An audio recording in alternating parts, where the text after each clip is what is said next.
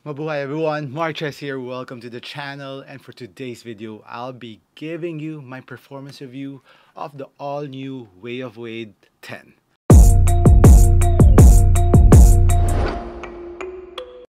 So guys, if you haven't subscribed yet to this channel, please do so. Click the subscribe button down there. And also there's a donation button down beside it if you wanted to donate to this channel it will really help out and of course share this video afterwards what I have here in my hand is of course the WOW 10 or the Way of Wade 10 from Li-Ning. Li-Ning is the mother company of the Way of Wade line. They partnered with Dwyane Wade, which of course is one of my ultimate idols aside from Penny Hardaway, LeBron, D Wade was my second favorite who really caught my attention and I really tried to copy his moves before. He's really one of the players that I look up to. This is the Blossoms colorway of the Way of Wade 10. So shout again Li-Ning for sending this over and letting me try it out early to give you my performance review. Before we go to the performance aspect of the sneaker, let's talk about first the aesthetics of the Way of Wade 10 for me personally, I like how it looks. It's a toned down design from the Way of Wade 9 because the WOW 9 was really futuristic. It has a midfoot plate that really shouts futuristic and it was really curved and that is one of the things that I saw the difference between the Way of Wade 10.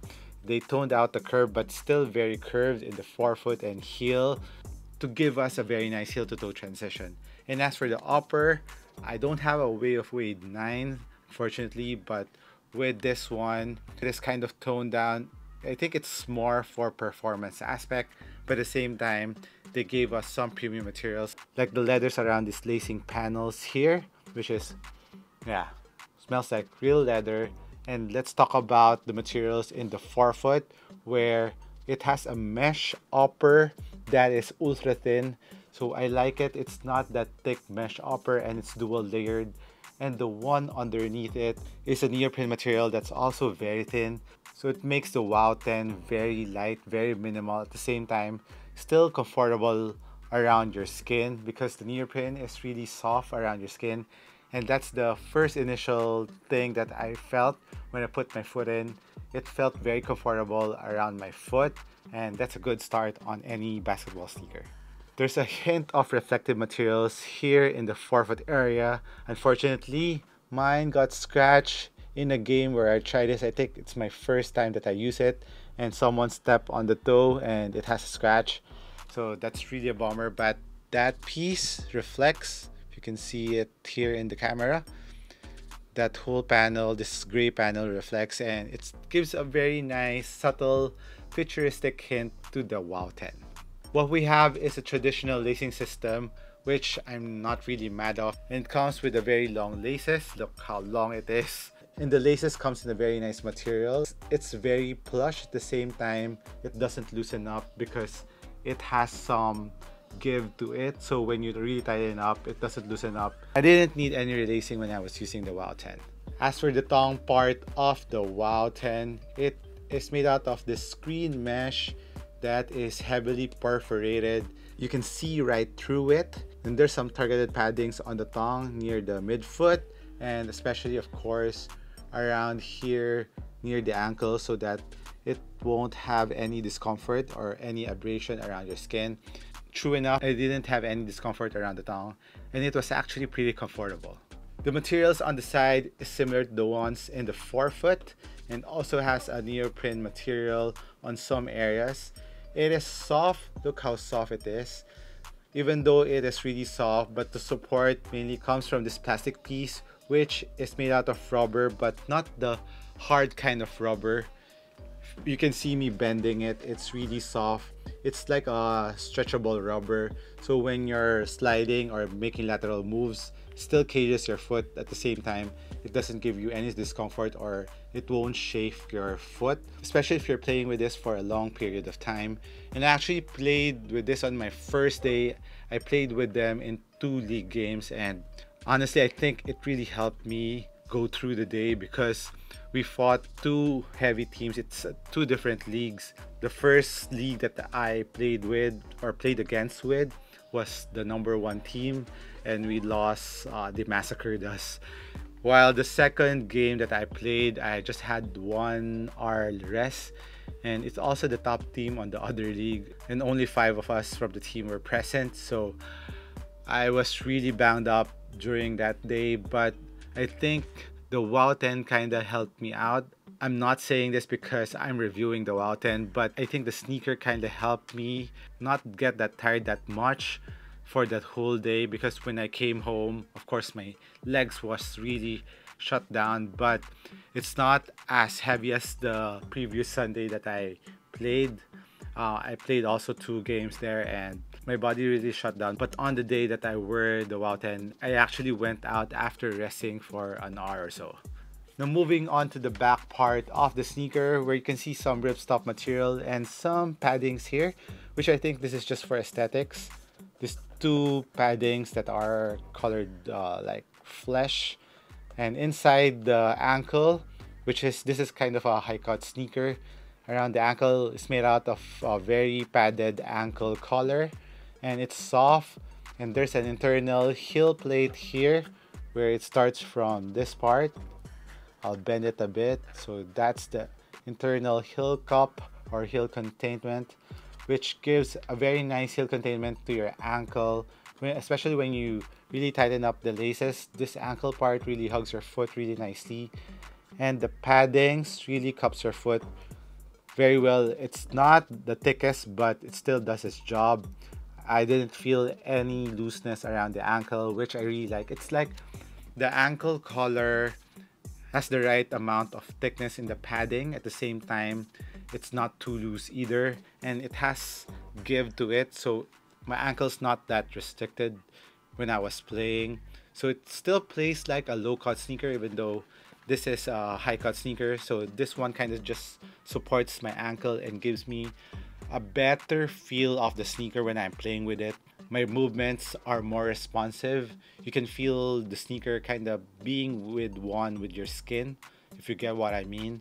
It has a very nice fit to it. I'm really surprised on how nice the fit of the WoW 10s are. Really impressed with it because on the All City 10, I was actually really impressed with the cushion part, the traction on that sneaker, and the support also was really good. And now this WoW 10 really is a very impressive sneaker in my opinion. And there's a heel pull tab here to help you put your foot in because you really need to loosen up the laces when you're wearing this because the laces doesn't move like I said earlier.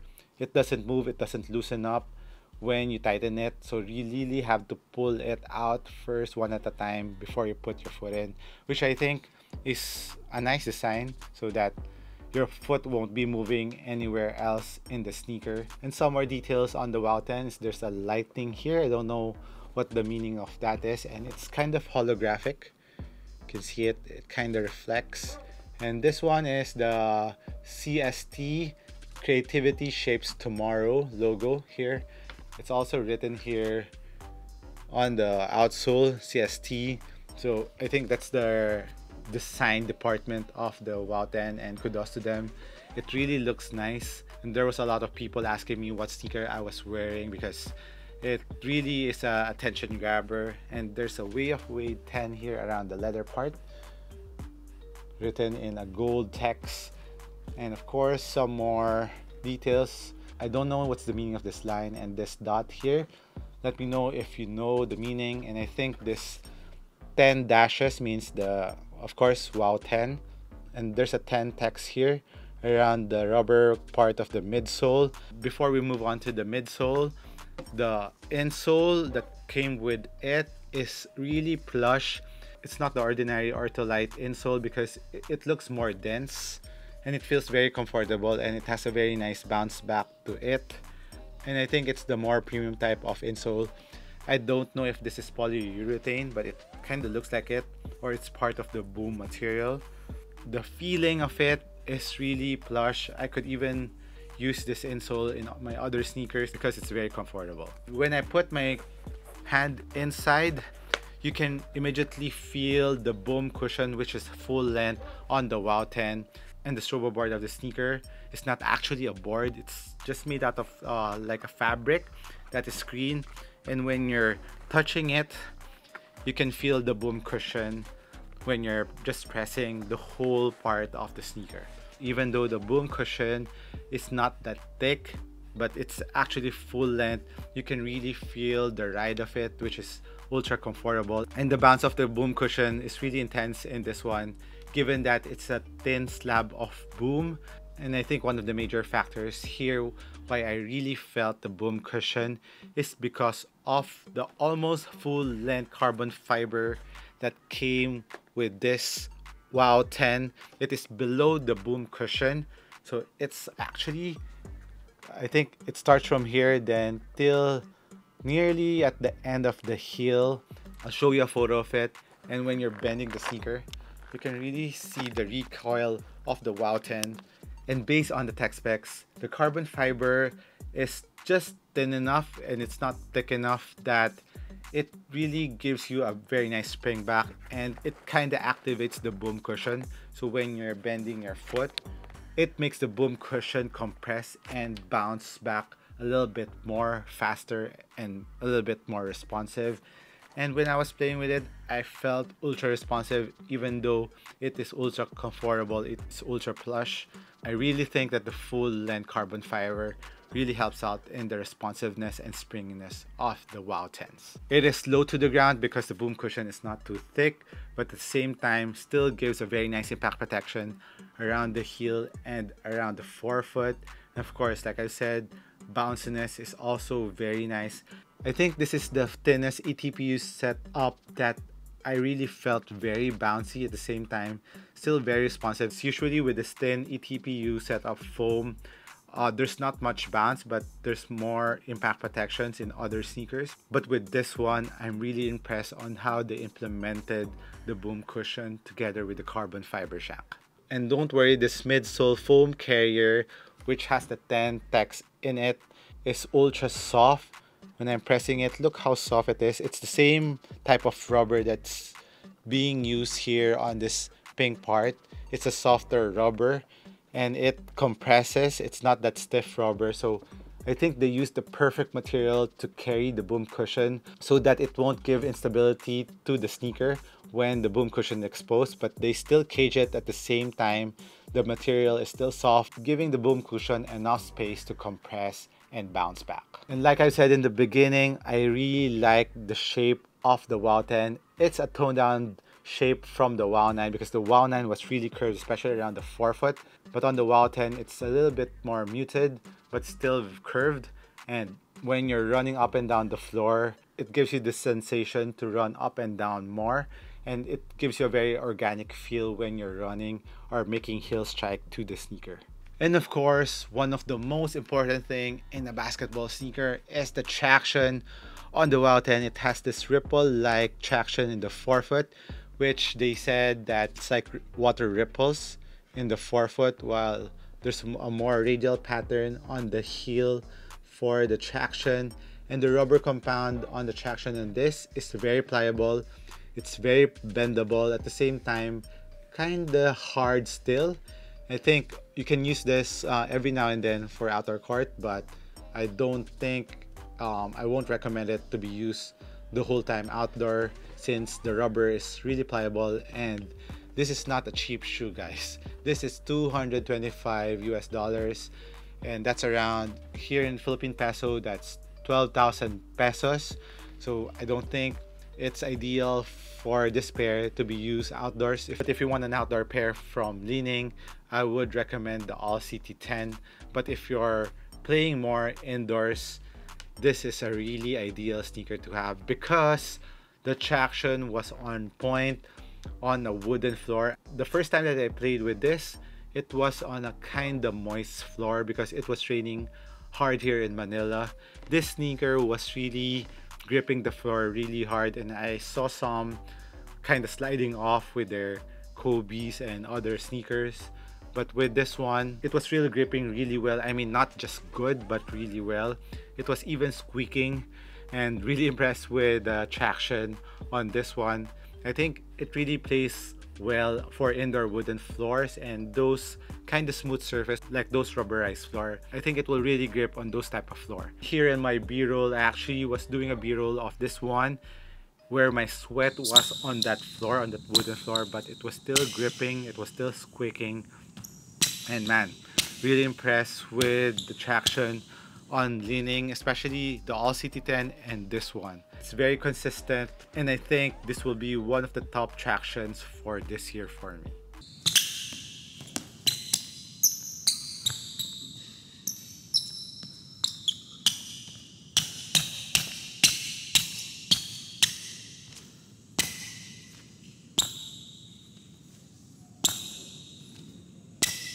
As for the weight of the WOW 10, it feels really light. So let's measure it up. See, it's 400 grams for a high top sneaker for a US 11 size. For US 11, for a high top, 400 is really light.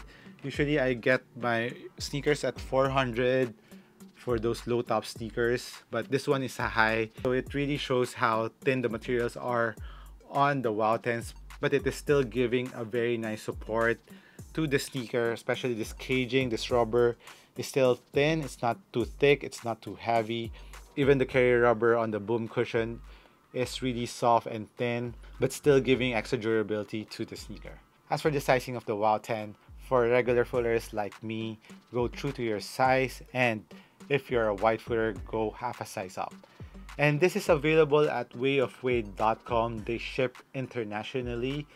So I mean without bias, I think this will be one of my favorite sneakers to play in this year. I mean for the comfort, the lightness, the dependability of the traction, the responsiveness of the sneaker, and of course that full length carbon fiber that really gives extra energy return to my foot. This I think is one of the top sneakers right now for 2022. For the price of the WOW 10 is 225 US dollars. It's on the expensive side, but I think the price kind of justified the tech that you'll be getting out of the WOW 10. The almost full length carbon fiber, the very nice boom cushion that came with it.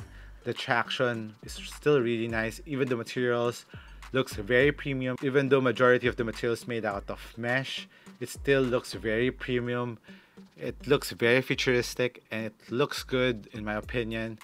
So i'm really excited to pump up this video and share my thoughts on this sneaker because i really had fun playing in the wow 10s there's two colorways that are out now for the wow 10 so check out wayofwade.com so this has been markches once again. Thank you for dropping by this channel. I'll catch you in the next one. Cheers